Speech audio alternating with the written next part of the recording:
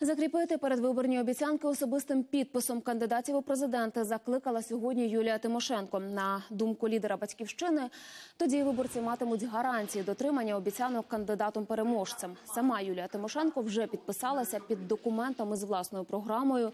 Найближчим часом таку модель співпраці з виборцями лідер батьківщини запропонує і своїм опонентам. Ми вирішили запропонувати нову модель виборчої кампанії. Це підписання письмових зобов'язань кандидатів в президенти України перед українцями, перед країною.